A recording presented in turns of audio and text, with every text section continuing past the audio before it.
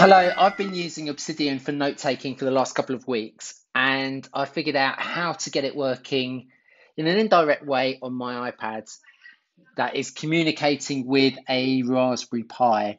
And I've installed Obsidian on the Raspberry Pi, and it means that I can use it wherever I am as long as I've got an internet connection. So I'm just going to show you how I've got it, what my basic setup is, and perhaps in future videos I'll go through some of the detailed uh, pieces of the jigsaw about how things can be uh, made to work better, okay, or at all.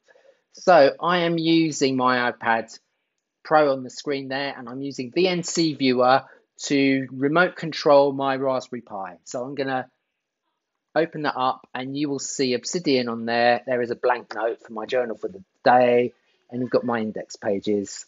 I'm not going to get into too much detail about my workflow or my basic setup when using Obsidian, I will definitely uh, give more thought and explore that at some stage. But for today, I'm just going to show you that Obsidian is working on the Raspberry Pi.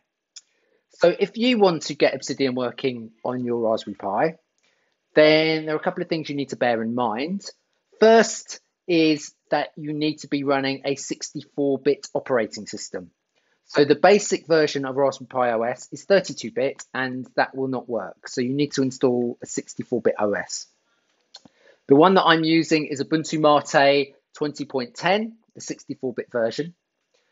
Uh, some of the other parts of it that are required to work, like having a VNC server and SSH needed a little bit more work uh, after the fact and also mounting Google Drive where I put my Obsidian vault. They needed to they needed a little bit of work to get that up and running, but I did get that to work. I suppose in terms of my knowledge and ability, I would say I am moderately technical. So I'm not a I wouldn't say I'm a genius, but I know my way around uh, devices and tech, so I can figure out tutorials without always necessarily understanding every single uh, line that I'm typing into the command line, okay? Um, I am going to show you how I installed Obsidian, okay? So the way, if I go into, so if you go to the Obsidian page and if you scroll down,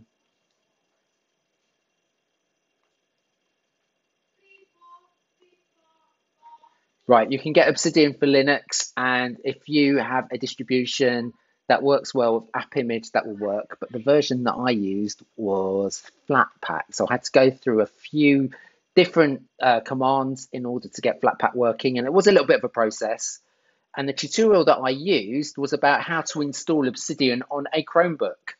Okay, so uh, newer versions of Chromebooks over the last few years have supported installing Linux apps and they support the use of Flatpak to uh, install Linux apps.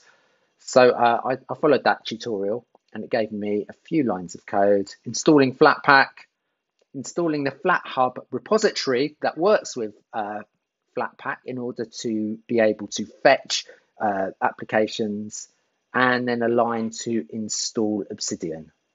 So I'll quickly show you how I uh, went through those different lines of code.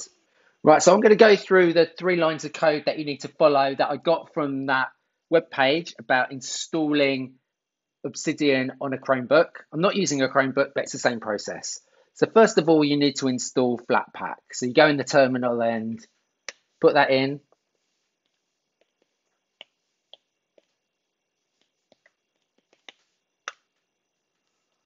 Okay, I already have that, so there's nothing new to install. The next step is to uh, add the FlatHub repository.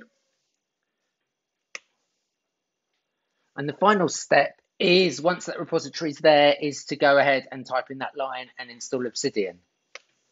You might uh, you might see a little prompt to ask you, is it a system or a user app? It is a user app. If that hadn't been installed before, then it would go. It would actually install it. So those are three lines of code are what you need to install Obsidian. You can choose where you keep your vault. I am intending to use this on a variety of devices, including a Windows laptop. And when the mobile application becomes available, I will also use it on uh, my iPad as a native app. And there are other Markdown apps that I can use to edit individual notes because it's basically plain text that's saved as Markdown. So uh, having all of my my vault inside a Google Drive makes sense to me because I pay for 100 gigabytes per month, and that's where I'd like to store my data. It would work just as well in OneDrive or in um, iCloud if you're exclusively a, an Apple user. Or I've even seen people um, host their notes in a GitHub repository. That's it for today. If you've enjoyed what you've seen, please like and subscribe to get details of future videos. And I hope to put out another video on Obsidian and other tech issues in the next few days. Bye for now. Enjoy your day.